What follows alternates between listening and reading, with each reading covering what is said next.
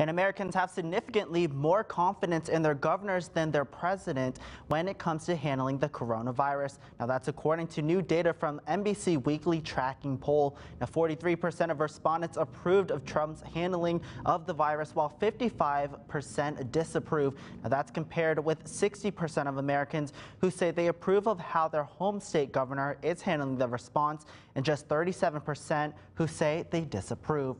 And that brings us to today's question of the day. How do you think President Donald Trump is handling the coronavirus pandemic? You can leave some of your comments on our Facebook page or tweet us at WETM 18 News. And we'll be airing some of your responses during 18 News at 530.